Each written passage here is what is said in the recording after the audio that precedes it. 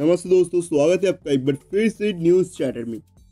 दोस्तों, एक फरवरी यानी आज, वित्त मंत्री निर्मला सीतारमन बजट पेश करेंगे। कोरोना के चलते देश मंदी से जूझ रहा है तो वही कृषि बिल के खिलाफ देश भर में आंदोलन हो रहा है। इसके अलावा कोरोना के चलते उद्योग धंधे भी संकट में है। साथ ही साथ देश में बेरोजगारी स्तर भी काफ़ी बढ़ गई है। ऐसे में इस बजट से देश भर के लोगों की उम्मीदें हैं। लोगों को निर्मला सीतारमन से बहुत उम्मीदें हैं कि वो कुछ ऐसे कई ऐलान कर सकती है जो ऐसे हालातों में अहम साबित हो सकती है। तो आइए जानते हैं कुछ सेक्टर के बारे में जहाँ बड़े ऐलान हो सकते हैं। पहला इंफ्रास्ट्रक्चर सेक्टर बजट में ऐलान से रेलवे, हाईवे और एयरपोर्ट प्रोजेक्ट जल्द पूरे होने में मदद मिलेगी।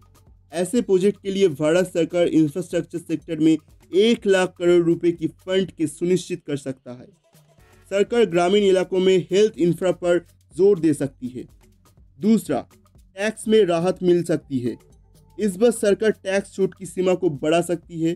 सरकार इसे ढाई लाख रुपए से बढ़ाकर तीन लाख रुपए तक कर सकती है।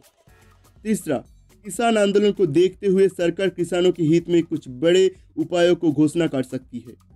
बजट में किसी से जुड़ी इंफ्रास्ट्रक्चर पर विशेष ज़ोर दिया जा सकता है। चौथा, रेलवे सुविधाओं पर फोकस बजट में जाती सुविधाओं पर सरकार का फोकस हो सकता है। बुलेट ट्रेन को लेकर भी बड़े ऐलान हो सकते हैं। पांचवा हेल्थ से सेक्टर को लेकर भी बड़े ऐलान हो सकती है। कोरोना महामारी को देखते हुए सरकार हेल्थ सेक्टर की बजट में बढ़ोतरी कर सकती है। छठवा आत्मनिर्भर भारत पर फोकस भारत इस साल की बजट में मैन्युफैक्चरिंग के ऊपर खासा ज़ोर दे सकती है। इसके अलावा भी रियल एस्टेट सेक्टर पर भी इस बजट में बड़ा घोषणा हो सकती है। आपका क्या उम्मीद है? इस बजट से कमेंट्स में बताइए।